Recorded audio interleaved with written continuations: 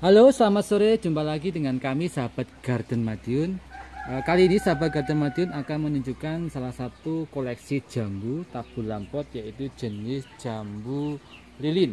Di mana di video sebelumnya kami menunjukkan juga jenis jambu lilin eh, yang satu itu jenis jambu lilin hijau dan ini kami akan tunjukkan salah satu koleksi lagi yaitu jenis jambu lilin merah.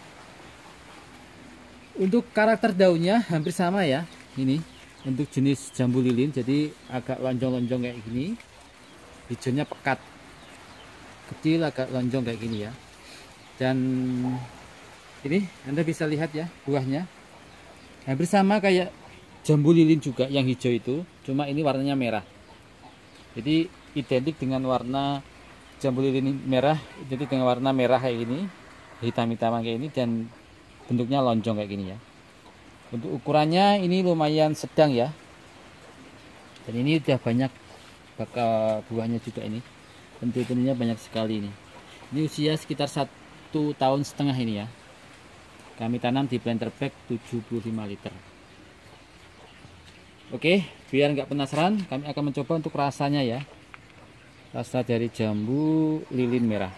Ini kita petik satu aja. Ini warnanya. Sangat mulus banget ini ya oke kita buka.